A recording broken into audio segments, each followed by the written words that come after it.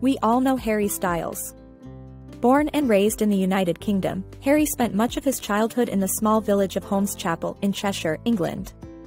At the age of 16, the aspiring singer took himself off to the Manchester auditions for the British version of The X Factor, a decision that changed the entire trajectory of his life. Led by Nicole Scherzinger, the show's judges ended up choosing Harry as one-fifth of a newly formed boy band alongside Doncaster's Louis Tomlinson, Bradford's Zayn Malik, Wolverhampton's Liam Payne, and Niall Horan, who is from Ireland. Together, the five teens formed a group that you just might have heard of, One Direction. And before long, they were in central London for the X Factor's live shows. Ultimately, the band finished the series in third place, but that didn't stop them from enjoying astronomical success across the globe. Following the show, One Direction embarked on the X Factor's tour across the country, and when they released their debut single in September 2011, it immediately topped the British charts. As a result of the group's commercial success in their home country, as well as their growing social media popularity, One Direction were quickly snapped up by a record label in America, and they arrived in the States as an opening act for Big Time Rush in 2012. The rest, as they say, is history, with One Direction dominating the international music scene until their hiatus in January 2016. All five members pursued solo careers after the hiatus was announced, but only one reached the level of mainstream global success that the band enjoyed in their heyday.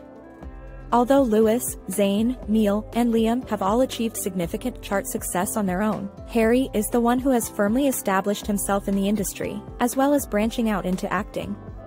All three of his solo albums have been released to critical acclaim, and in the years since One Direction's hiatus Harry has earned two Brit Awards, a Grammy Award, an Ivor Novello Award, and an American Music Award for his solo work.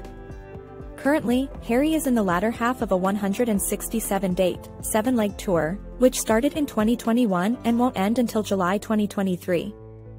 Called Love on Tour, the show is in support of his second and third studio albums, and includes performances of some of his best-loved songs, including his 2022 hit, As It Was. But this track has proven to be divisive amid Harry's fans thanks to its lyrics, Leave America, Two Kids Follow Her. Following its release last year, British fans used it as it was, as a way to send a message to Harry during his performances on home soil after they got fed up with the amount of time that he spends in the US. In dozens of videos from his UK shows, fans can be heard pointedly screaming, Leave America, and being noticeably quieter for the lyrics either side to further drive home their point. It didn't take long for Harry to clock onto what they were doing and he appeared to be amused by the trend and was often filmed smiling and laughing during this line. Eventually, he stopped singing Leave America altogether because he knew that the British fans would only scream over him. But of course once he resumed the North American leg of his tour it was an entirely different story, and US fans traditionally go silent over the words, Leave America. And Harry decided to involve himself in the divide when he returned to the stage in Los Angeles last week after enjoying a well-earned break over Christmas and New Year. During his second night at the Kia Forum, many fans questioned whether they'd heard him say I'm staying during the Leave America line, but it was heavily debated.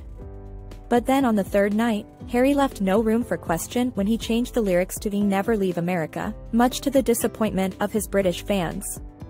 In fact, many took to social media to admit that they felt betrayed by this alteration, with fans from other countries also joining the discourse and vowing to humble the star at his future shows. In one TikTok, a fan shared an audio clip of the change and joked, two Wembley slot tickets for sale on the grounds of betrayal from our own kind. Someone else posted a video with an anonymous confession that read, I didn't think Harry could ever give me the ick but last night's, Never Leave America really did it for me. And this was the overwhelming consensus in the post's comment section, with one person writing, genuinely so salty at him over this. Another agreed, am neither British nor a huge fan but I feel completely betrayed for some reason, while someone else wrote, gonna say it, this whole UK versus America thing is starting to make me like him less, I feel completely betrayed. One more added. Another claimed, he forgets he actually British and not American, He's just dissed every other country with one word, one more summarized.